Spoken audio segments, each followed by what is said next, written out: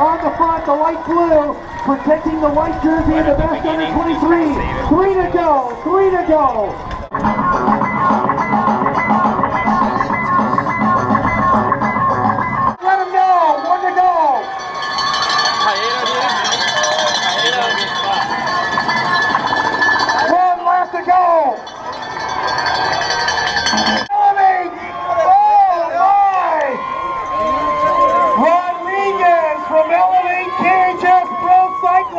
getting around at the end there.